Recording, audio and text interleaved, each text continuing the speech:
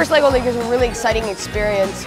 Um, the competition is very friendly, very healthy, and my favorite part, which is the project, I really get to be involved a lot and bring out my own ideas, which is really fun.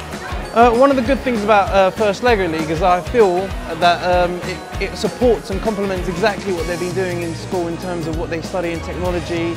Even uh, from my background, which I'm um, the curriculum leader for IT and computing at the school, we feel like by them doing a lot of programming, that introduces a lot of IT skills and computer science skills. This event um, really helps the children understand where engineering fits in with the real world. Um, it's fun, it's interactive, and it's a great day out for them.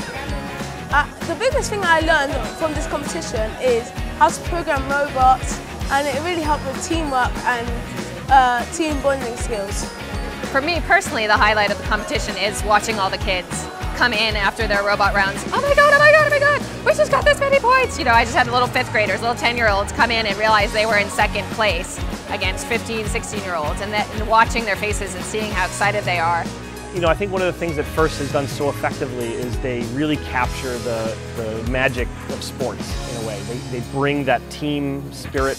The IET uh, took over um, last year, and, and I think it's been a, a really good improvement on uh, the whole organization, the, the, start to finish of, of how the um, website works and how the regionals are run. There's, I think there's more consistency um, from regional to regional, and, uh, and it's been uh, really terrific. And, and also just to have that connection to the engineering community uh, internationally, I think is a, is a big plus.